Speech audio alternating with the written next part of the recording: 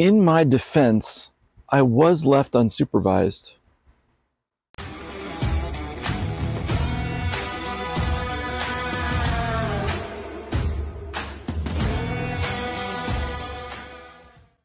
What's up, flocking model railroaders? This is Alan with Mason Dixon, and this is a basement renovation update. Uh, just had the electrical inspection, which was uh, last week on Wednesday, and that passed. So I was okay to move ahead to the next phase, which is insulation.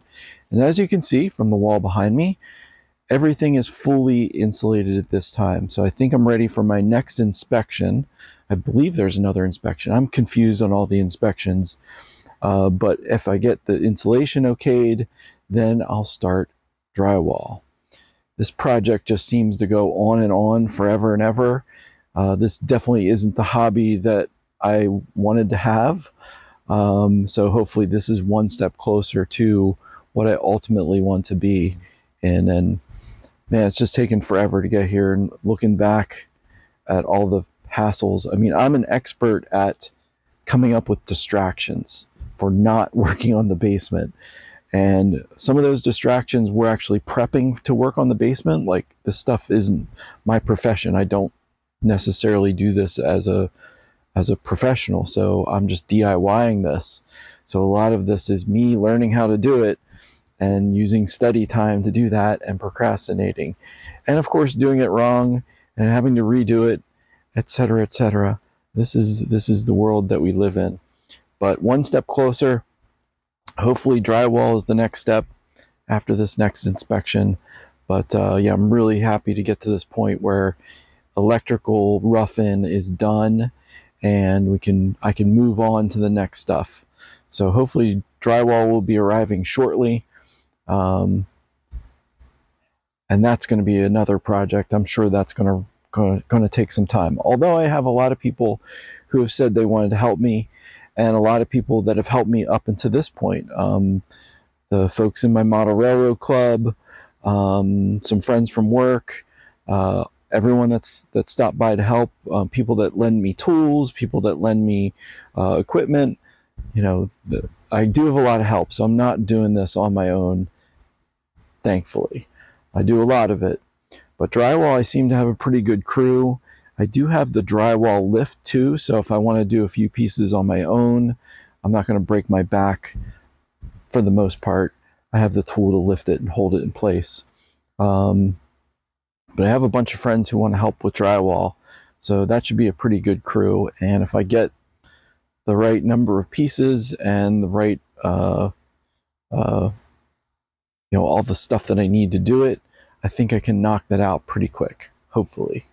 So anyway, let's take a look around and I'll show you uh, the whole basement now kind of boxed in.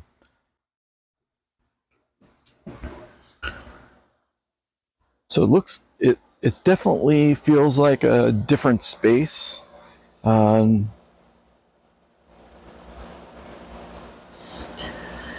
you know, originally this room this room is going to be my office slash uh, hobby room, so to speak. And this room was originally supposed to be a lot wider. So this wall was going to be moved down that way.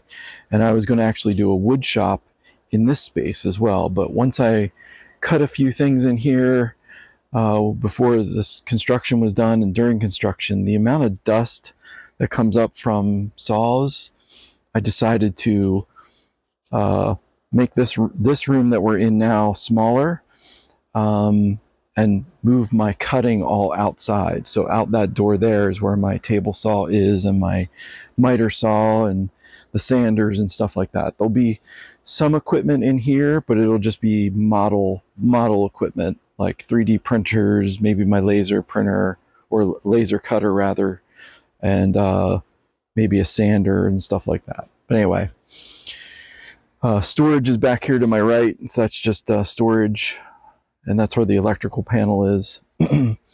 so this is the main room uh, that we modeled. Again, this wall, I must have tried moving this a couple different times. On paper, I think it was it was over here, but once I drew it, I I marked it on the on the concrete floor, I was like, it's it's got to be a little bit over here. So I like how this is. This is like my little hallway, and then this is the room that will hold the future model railroad.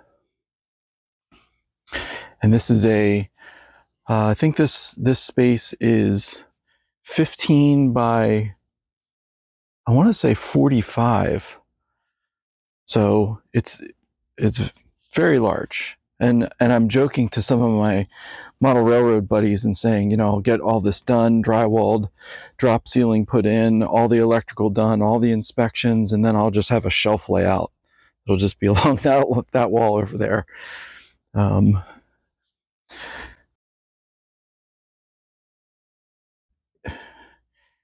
this is the room known as the cat room. And the cats stay in this little cage here. This is the cat hotel. So they're they're not allowed to free roam anymore. This room here is a future bathroom. That's not where the sink will go. It'll go in the corner over there. Uh, commode over here. And this door goes to the other side of the storage room. And then this is the steps. So these are all done. Uh, obviously, finish work has to be done, of course, too. So it's very dark up there. But it's all insulated now. And that's about all. So thanks, everyone. Um, keep watching. I'll get you another update as soon as I can. But uh, if anyone wants to help with drywall, definitely let me know. And uh, thanks, everyone. I'll talk to you later.